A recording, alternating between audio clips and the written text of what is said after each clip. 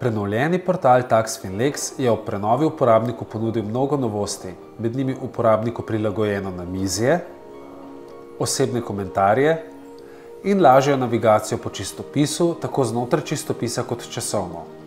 Uporabnikovo namizje se nahaja na prvi strani portala, ko se prijavite. Njegova vsebina se prilagaja z uporabo portala.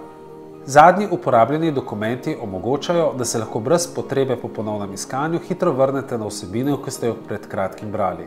Zadnja iskanja vas spomnijo, kako ste prišli do nekega seznama zadetkov v preteklosti.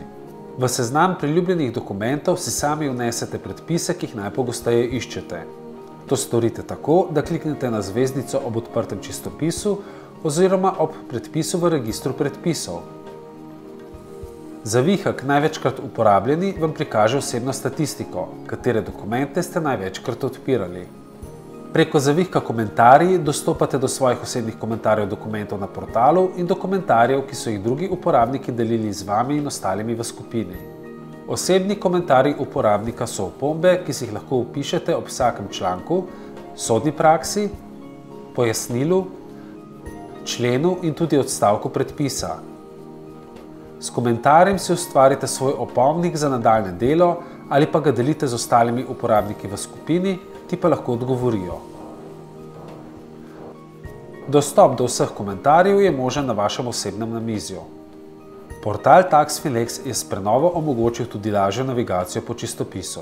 S klikom na zadetek takoj dobite besedilo čistopisa, ki se na dan iskanja uporablja. Dodatne vsebine povezane s predpisom so skupaj zbrane in enostavno dostopne preko izbire več o predpisu in povezave. Dodano je tudi enostavno kopiranje citatne vrstice predpisa z vsemi spremembami v urejevalnik besedila.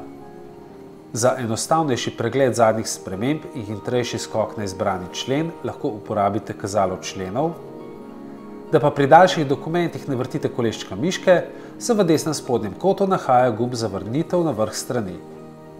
Portal TaxFinlex je za vas pripravil veliko novosti, še več jih pa prihaja.